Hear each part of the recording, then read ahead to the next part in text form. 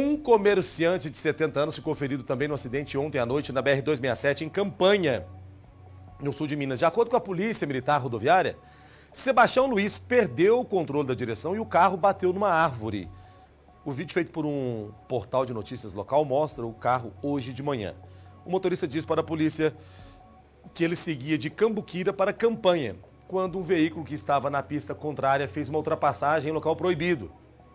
Daí ele precisou jogar o carro para o acostamento e perdeu o controle.